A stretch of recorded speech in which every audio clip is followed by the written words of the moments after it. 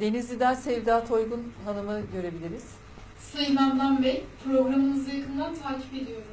Son günlerde masonlukla ilgili yaptığınız açıklamalarınızdan ne çıkarmalıyız? Teşekkürler. Ya masonlara şefkatle bakmak lazım. Yani böyle eskiden onları çok tehlikeli böyle deccal ordusu gibi göstertiyorlar. Çok eziyorlardı. E, halen de Katolikler onları aforoz etmiş durumda. Yani hiç sevmezler Katolikler. E, Museviler de pek sevmezler masonları. E, yani birçok hareket hiç hoşlanmaz masonlardan. Gelenekçi Ortodoks Müslümanlar da yani çok korkunç ve tehlikeli görürler. E, bu adamla o ilgilenmeyecek, bu ilgilenmeyecek, kim ilgilenecek?